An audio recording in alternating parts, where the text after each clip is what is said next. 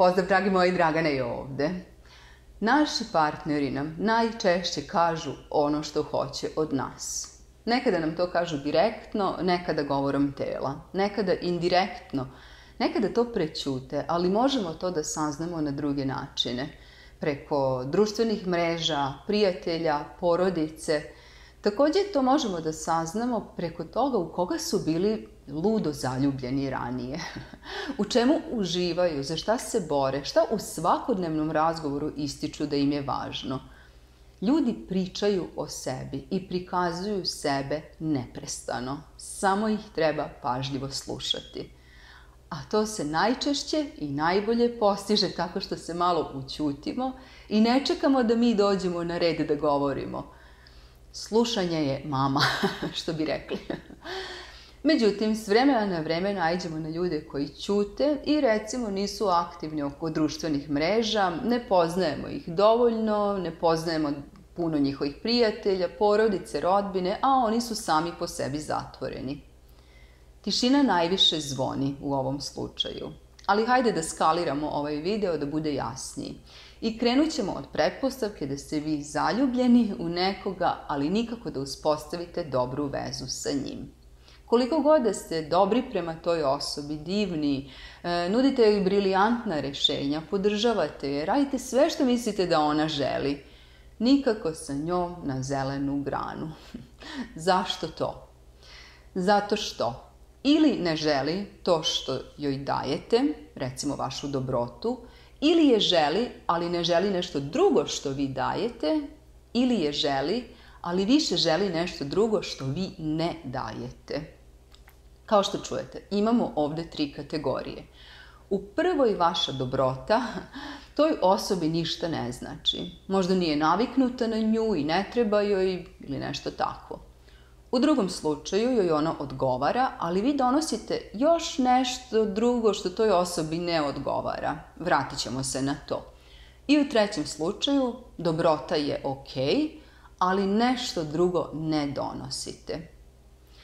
Ljudi su vam stvorenjica koje se ponašaju savršeno prirodno. Odbacuju stvari koje ne žele, a gravitiraju ka stvarima koje žele.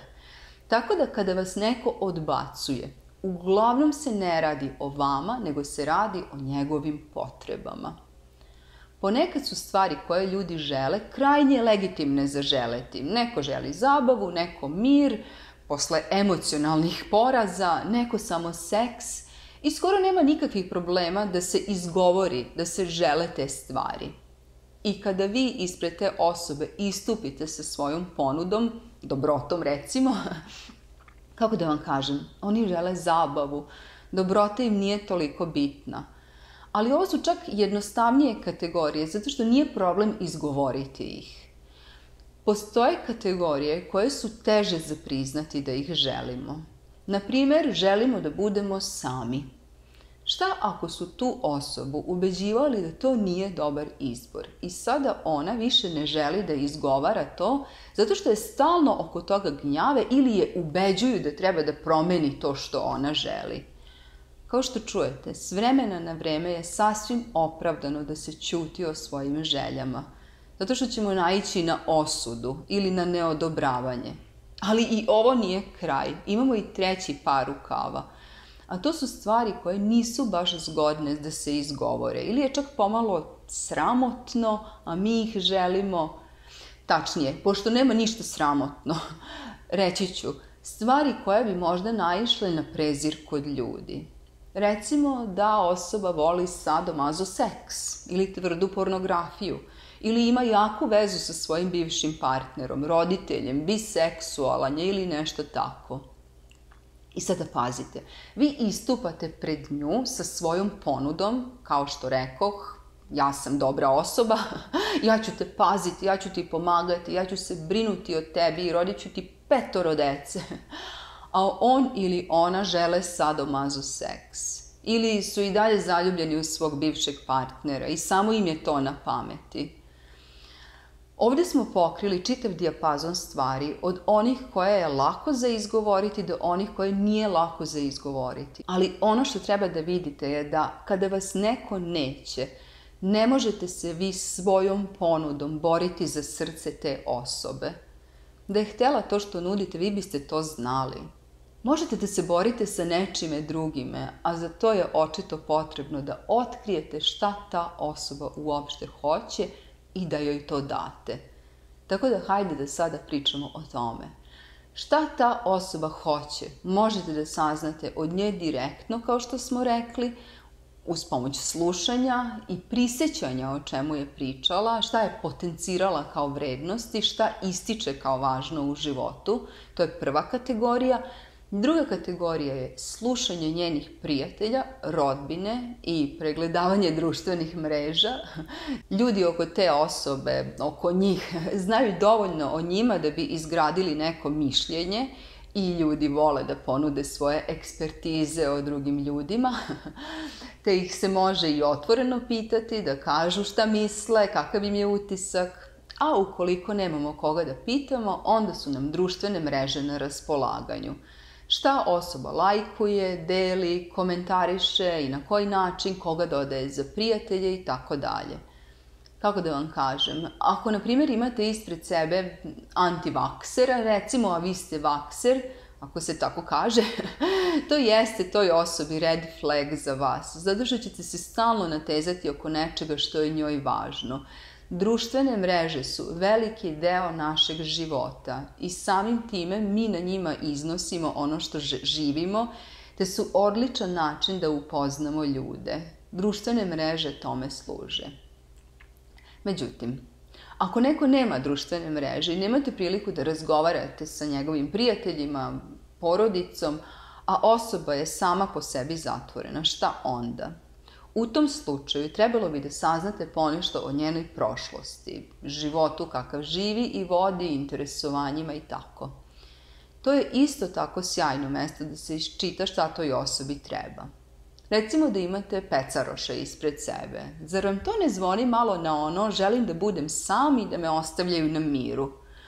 Ako imate ispred sebe čoveka preokupiranog poslom, Zar vam to ne zvoni na imam puno poslovnih problema i bit ću puno odsutan i možda neću imati vremena za tebe i zato ću želeti tolerantnu osobu ili možda osobu koja će me zabavljati ili nekoga sa kime ću moći da razgovaram o poslu.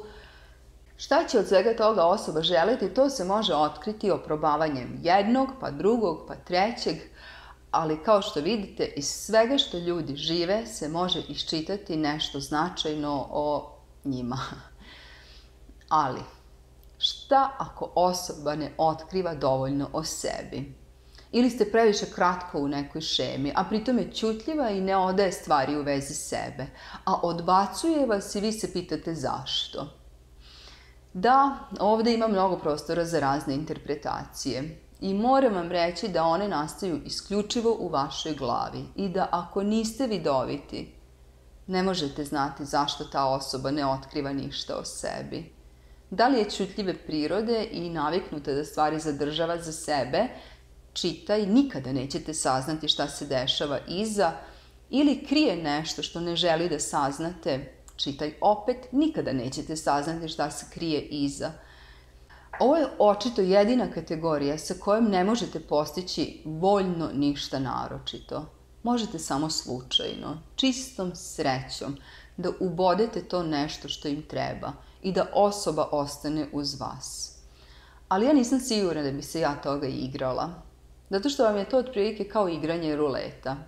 Slučajnost koja može mnogo da vas košta. A da je nikada ne pogodite, da nikada ne pogodite o čemu se tu radi. Sa svim ovim ostalim kategorijama ljudi ima mogućnosti za ostajanje, napredovanje, ulazak u vezu. Samo očito treba da im date to što ste otkrili da oni žele. I moram vam reći, ovdje nema pregovora. Sa njima u svakom slučaju. Eventualno možete da pregovarate sa samima sobom. Da li želite i možete to nešto da im date ili ne želite. To je što se pregovora tiče. Zato što kad krenete od sebe, ko bi vas mogao da odgovori od nečega što želite? Naprimjer, vi želite strastvenu vezu, neko vas nagovara na miran, suptilan odnos. Ne može. Ljudi žele ono što žele. I ovdje moram podvući da su muškarci zbog svoje prirode više u otporu i manje se slažu od žena koje su više pomirljive. Vežbale smo to sa malom decom od uvek da se pomirimo sa čudarijama koje ona izvode i koje moramo da iznesemo. Žene su pomirljivije po prirodi i lakše pristaju na kompromise i češće će reći ja bi pristala da se odreknem nečega da bih bila sa njim. Dakle, vi biste pristali. To ne znači da bi on. Ne možemo posmatrati svet kroz sobstvene naočare. Ljudi mogu da se predomisle zbog sebe, a i to se sa ličnim afinitetima redko dešava. Češće težimo, tražimo i insistiramo na stvarima koje želimo nego što odustajemo od njih. Ali ako ste se sada zakačili za ovo i računate na nečije lično odustajanje od sobstvenih afiniteta i pristajanje na ono što vi nudite, to će sasvim sigurno značiti da ćete tu osobu čekati jedan fini, dugi vremenski period. I pitanje je da li ćete je dočekati. No da rezimiramo video. Možete da imate svakoga koga želite, ako mu date ono što on želi. Ako to nemate u svojoj ponudi, ili to nabavite, postanite to, ili nema smisla da se trudite. Dobar način da ovo sprovedete, da uvedete te neke novine u vaš život, je da se privremeno odvojite od te osobe na koju nedelju ili ako je potrebno mesec i da onda izađete ispred nje sa novom ponudom. Ovo služi tome da ta osoba zaboravi ko ste vi bili i da ne primeti da fejkujete, nego da pomisli da je to došlo spontano. Da ste se vi promenili na način na koji je ona to želela. Ako ovo uradite, nema vraćanja na staro i sprovođenja svoje volje. Zato što će onda smatrati da ste je prevarili i jako će se naljutiti. Ako se za ovo odlučite, morate istrajavati u tome sve dok se osoba ne navikne na vas i navikne da dobija to što hoće i odmah ću vam reći, to mogu biti teške stvari. Da je ostavljate na miru, da je budete samo seksualna varijanta, da je delite sa nekime drugime, da se odreknete nečega što je vama važno, deteta na primjer, da se ponašate isto kao neki profil koji se njemu ili njoj dopada, ali to je cena bivanja sa time nekime, sa tom osobom.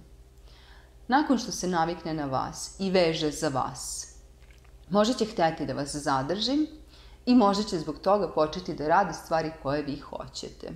Ali ovo je već druga tema. Trenutno raspolažemo sa ovime i to vam je jedini put do većine ljudi. Dajte im ono što im treba i imat ćete ih. A isto tako, uvek vam je opcija da stavite prst na čelo i razmislite. Da li je ta osoba zaista vredna tolikog vašeg prilagođavanja i menjanja kada vas tamo negde čeka hiljade drugih koji hoće vas baš takve kakvi vi jeste.